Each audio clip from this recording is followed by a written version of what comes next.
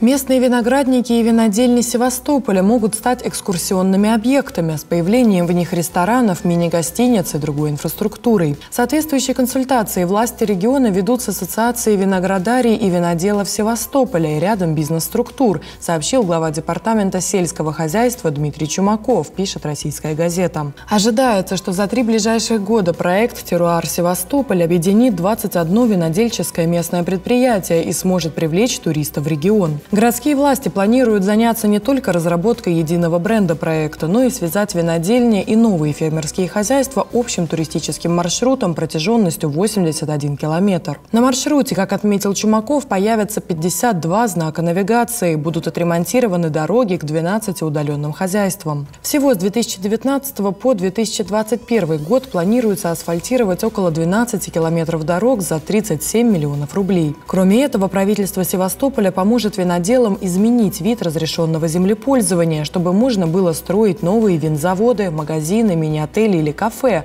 заявил ранее вице-губернатор Владимир Базаров. За три года участники проекта будут обязаны построить все заявленные объекты и создать в каждом не менее пяти новых рабочих мест для жителей Севастополя и выпускников местных вузов. Ранее стало известно, что в этом году в Севастопольском государственном университете начнется подготовка специалистов в области виноградарства и виноделия.